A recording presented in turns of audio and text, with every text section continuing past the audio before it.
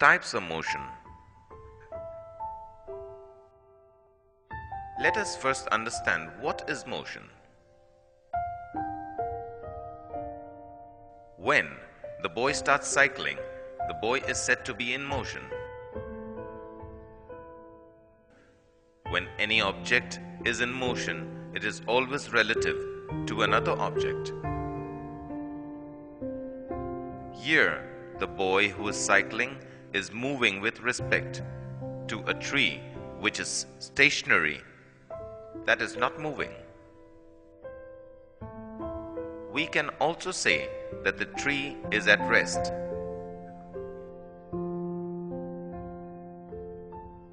The position of the boy changes with time. Thus, we say that the state of the change in place or position of a body with respect to time and relative to an object is said to be motion. If a body does not change its position with respect to time, then it is said to be at rest.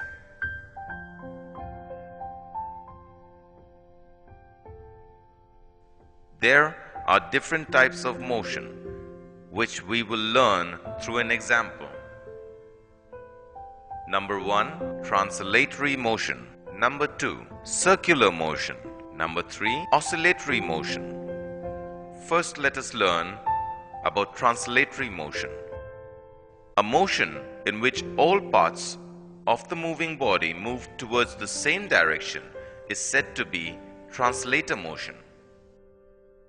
For example, a car or a boy cycling in a straight line and carved line is an example of translator motion.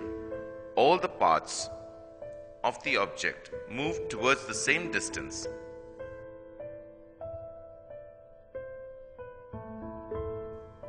There are two types of translator motion.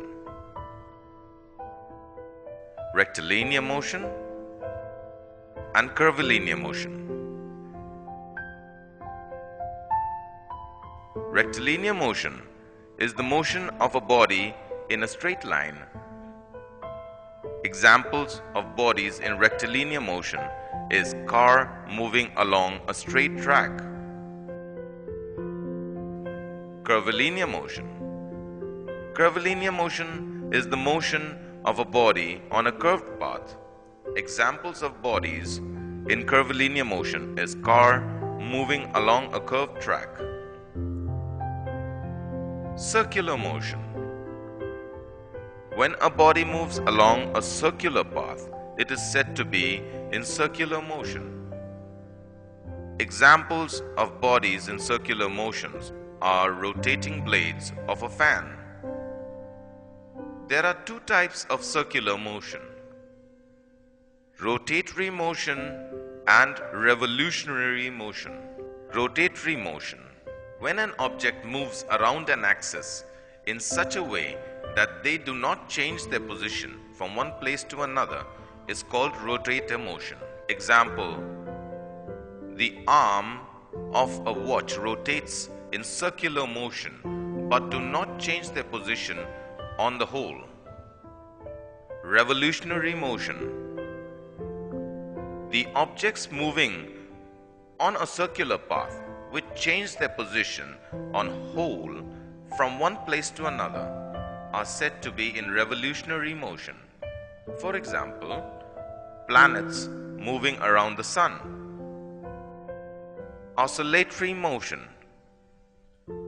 When a body or object moves to and fro, it is called oscillation, but when this is around a main point or position, it is said to be oscillatory motion.